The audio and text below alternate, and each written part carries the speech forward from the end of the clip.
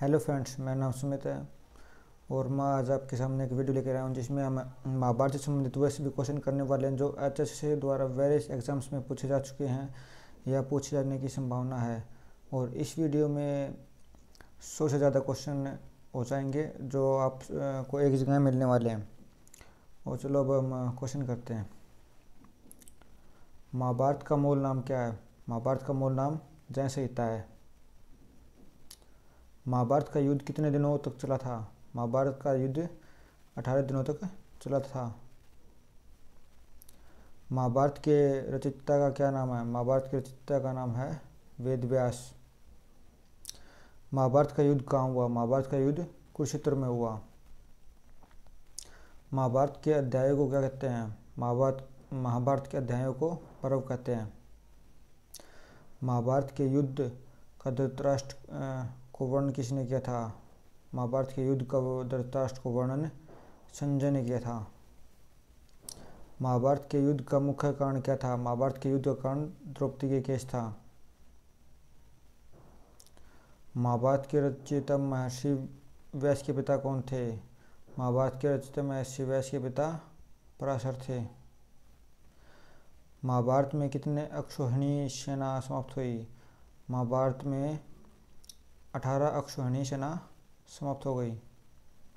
महाभारत में कृष्ण की सेना किसकी ओर से लड़ी? महाभारत में कृष्ण की सेना कौरवों की ओर से लड़ी थी। महाभारत में धर्मपुत्र किसे कहा गया है? महाभारत में धर्मपुत्र युधिष्ठिर को कहा गया है? महाभारत में युधिष्ठिर के अतिरिक्त किस और राज्य के जुए में राजपाट हारने का वर्णन है? राजा नल। महाभारत में श्लोकों की कुल संख्या कितनी है? एक लाख। महाभारत युद्ध के कौन से दिन कृष्ण ने अपनी प्रतिज्ञा तोड़कर चक्कर उठाकर भीष्म को मारने दौड़े? तीसरे दिन। महाभारत युद्ध में चक्रव्यूह की रचना किसने की थी? महाभारत में चक्रव्यूह की रचना द्रोणाचार्य जी ने की थी। द्रोणाचार्य का वध महाभारत के युद्ध के कौन से दिन हुआ था? द्रोणाचार्य का वध पंद्रहवें दिन हुआ था। भगवद गीता किस ग्रंथ का एक भाग है। भगवद गीता महाभारत का एक अभिन्न भाग है। लक्षाग्रह का वर्णन महाभारत की किस पर्व में है? लक्षाग्रह का वर्णन महाभारत के आदि पर्व में है। लक्षाग्रह वो था जहाँ पे पांडवों को ठहरा गया था लाख का घर। अज्ञातवास के दौरान अर्जुन क्या काम करते थे? अज्ञातवास के दौरान अर्जुन रथ की बनकर नृत्य तथा गान सीखते थे। अज्ञातवास के दौरान नकुल क्या काम करते थे। अज्ञातवास के दौरान नकुल अश्वपाल थे घोड़ों की देखभाल करते थे और अस्तबल को संभाल देते थे। अज्ञातवास के दौरान सहदेव क्या काम करते थे। अज्ञातवास के दौरान सहदेव गौशाला अध्यक्ष थे। अम्बा किस राज्य की राजकुमारी थी? अम्बा काशी की राजकुमारी थी। अर्जुन के संघ का क्या नाम था? अर्जुन के संघ का नाम देवदत्त था। अश्वत्थामा की माता का क्या नाम था? अश्वत्थामा की माता का नाम कृपी था। अश्वत्थामा द्वारा छोड़े गए ब्रह्मास्त्र को किसने शांत किया था? अश्वत्थामा द्वारा छोड़े गए ब्रह्मास्त्र को व्यास ने शांत किया था। अश्वत्थामा हाथी को किसने मारा था? अश्वत्थामा हाथी को भीम ने मारा था। इंद्र का कर्ण से कवच कुंडल मांगना किस पर्व में शामिल है? इंद्र का कर्ण से कवच कुंडल मांगना विराट पर्व में शामिल है। उलूपी व चित्रांगदा किसकी पत्नी थी? उलूपी व चित्रांगदा अर्जुन की पत्नी थी। एकलव्य के पिता का क्या नाम था? एकलव्य के पिता का नाम धनु था।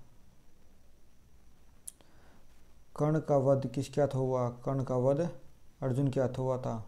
और किस युद्ध के किस किस दिन मरे थे? सत्रहवें दिन। कर्ण का बचपन का नाम क्या था? कर्ण के बचपन का नाम वसुसेन था। कर्ण की जन्मदात्री माता का क्या नाम था?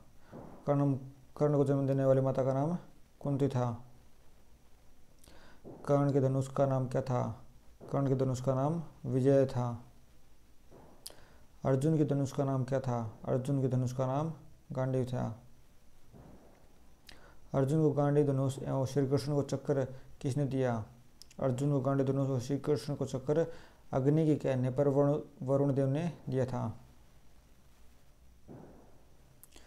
कर्ण को पालने वाली माता का क्या नाम था? कर्ण को पालने वाली माता का नाम राधा था, राधा। कर्ण ने अपने कवच कुंडल किसे दान दिए। कर्ण ने अपने कवच कुंडल इंद्र को दान दिए। कुरुक्षेत्र में किस स्थान पर कृष्ण ने अर्जुन को गीता का उपदेश दिया? कुरुक्षेत्र में थाने सॉरी ज्योतिषर में कृष्ण ने अर्जुन को गीता का उपदेश दिया। कौरवों व पांडवों के शस्त्र गुरु का नाम बताओ। कौरव पांडव के गुरु द्रोणाचार्य थे। गांधारी ने कितनी बार अपने आँखों की पट्टी खोली? गांधारी ने दो बार अपनी आँखों की पट्टी खोली ग्रोथकुच की माँ का क्या नाम था? ग्रोथकुच की माँ का नाम इडम्बा था।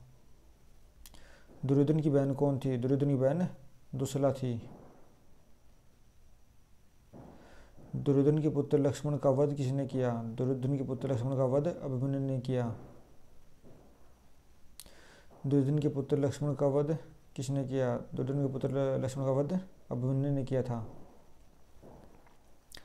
दुशासन की छाती का रक्त पीने का प्रण किस पांडव ने किया था? दुशासन की छाती का रक्त पीने का प्रण भीम ने किया था और द्रौपदी ने केश धोने का प्रण किया था।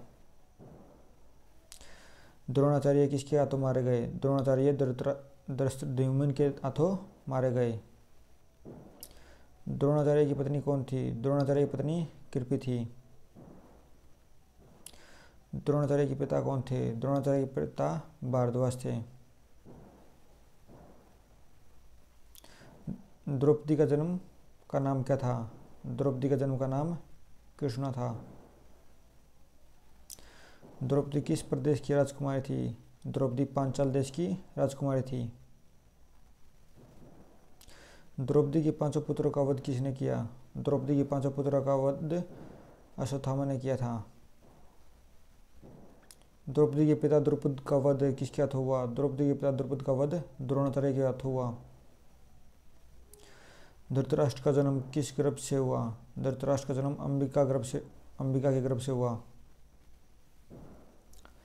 धृतराष्ट्र के पुत्रों को क्या नाम दिया गया था? धृतराष्ट्र के पुत्रों को कौरव नाम दिया गया था। नकुल के संघ का क्या नाम था? नकुल के संघ का नाम सुगोष था। निशा जाति से संबंधित कौन था? निशा जाति से संबंधित एकलव्य था, जिसके द्रोणाचार्य ने गुठा मांग लिया था। दक्षिणा में। पांडवों का द्रौपदी के साथ विवाह किस पर्व में वर्णित है? पांडवों का द्रौपदी के साथ विवाह आदि पर्व में वर्णित है। पांडवों के अज्ञातवास के समय अर्जुन का छद्म नाम क्या था? पांडवों के अज्ञातवास के समय अर्जुन का छद्म नाम बर्नल था। बर्नल्ला एक लेडी का रोल कर रहे थे राजकुमारी के यहाँ पर। पांडवों के अज्ञातवास के समय युधिष्ठिर का छद्म नाम क्या था? पांडवों के अज्ञातवास के समय युधिष्ठिर का नाम कंक था। पांडवों के अज्ञातवास के समय भीम का छद्म नाम क्या था? पांडवों के अज्ञातवास के समय भीम का छद्म नाम बल्लभ था। पांडवों में सर्वप्रथम विवाह किसका हुआ? पांडवों में सर्वप्रथम विवाह भीम का अडिम्बास के साथ हुआ था और इन्हीं का बच्चा हुआ था जो ग्रोथ कहलाएगा। पांडु के पुत्रों को क्या नाम दिया गया? पांडु के पुत्रों को पांडव नाम दिया गया। पांडवों के महाप्रयाण के बाद राजगद्दी पर कौन बैठा? परीक्षित। पांडवों के महाप्रयाण के बाद राजगद्दी पर परीक्षित बैठा था तो अर्जुन का पोता था। बलराम की पत्नी कौन थी? बलराम की पत्नी रेवती थी। भगवद गीता के श्लोकों की कुल संख्या कितनी है? भगवद गीता में श्लोकों की संख्या सात सौ है। भगवद गीता में कितने अध्याय हैं? भगवद गीता में अठारह अध्याय हैं। भगवान शिव से कौन सा अस्त्र अर्जुन ने प्राप्त किया? भगवान शिव से पशुपा अस्त्र अर्जुन ने प्राप्त किया। भीष्म और द्रोणाचार्य को धनुर्विद्या किसने सिखाई? भीष्म और द्रोणाचार्य को धनुर्विद्या परशुराम ने सिखाई थी। भीष्म कितनी सेना समाप्त करके जल ग्रहण करते थे? विषम दस हज़ार की सेना को समाप्त करके जब तब जल ग्रहण करते थे। भीष्म पितामह का असली नाम क्या था? भीष्म पिता का असली नाम देवव्रत था। भीष्म पितामह कितने दिन तक सरसया पर पड़े रहे? भीष्म पितामह अट्ठावन दिन तक सरसया पर पड़े रहे।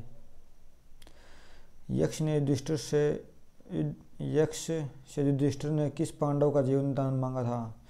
यक्ष युधिष्ठिर ने सहदेव का जीवन दान मांगा था, अपने चारों भाइयों को छोड़कर। युद्ध के कौन से दिन कर्ण की मृत्यु हुई? युद्ध के सत्रहवें दिन कर्ण की मृत्यु हो गई थी। युद्ध में विजय होने पर पांडवों ने कौन सा यज्ञ किया है? युद्ध में विजय होने पर पांडवों ने अश्वमेघ यज्ञ किया था। युधिष्ठिर के जुए के खेल का वर्णन किस पर्व में है? युधिष्ठिर के खेल का जरा खेल का वर्णन सभा पर्व में सम्मिलित है। राजा नल किस प्रदेश के राजा थे? राजा नल निषद प्रदेश के राजा थे। राजा नल की रानी दमयंती किसकी पुत्र थी? राजा नल की रानी दमयंती विदे, विदर्भ देश की राजा भीमक की थी। पुत्री थी ये भीमक की राजा नल ने किसे जुए में अपना राजपाट हारा? राजा नल ने अपने भाई पुष्कर के हाथों अपना राजपाट हार दिया था। वह बुरु वाहन किसका पुत्र था? वह बुरु वाहन अर्जुन का पुत्र था। वीर बारबरिक किसके पुत्र थे? घटोत्कच के। वीर बारबरिक घटोत्कच के पुत्र थे, जो भीम के पोते हुए। व्यास की माता का नाम क्या था? व्यास की माता का नाम सत्यवती था। शिखंडी किसके शिष्य थे? शिखंडी द्रोणाचार्य के शिष्य थे। शकुंतला के पोषक पिता का नाम क्या था? शकुंतला के पोषक पिता का नाम कव्य था। सॉरी कणव था। शिशुपाल का वध किसने किया था? शिशुपाल का वध कृष्ण ने किया था। श्री कृष्ण के संघ का क्या नाम था? श्री कृष्ण के संघ का नाम पाँच जन्य था। सूर्य और कुंती का पुत्र कौन था? सूर्य कुंती का पुत्र वसुसेन। उसका बाद में नाम कर्ण रखा गया। इसी के साथ हमारे जो महाभारत के जो इम्पोर्टेंट क्वेश्चन हैं, वो समाप्त होते हैं और ये सभी क्वेश्चन में से हरियाणा स्टाफ सिलेक्शन कमीशन बार बार क्वेश्चन पूछ चुका है और इन्हीं में से आपको लगभग सभी क्वेश्चन स्टाफ कमीशन के पेपरों में दिख जाएँगे। और इसके साथ हम इस वीडियो को समाप्त करते हैं। अगर आपको ये वीडियो अच्छी लगी हो और हमारा कंटेंट पसंद आया तो आप इस वीडियो को लाइक और शेयर कर सकते हैं और चैनल को सब्सक्राइब कीजिएगा।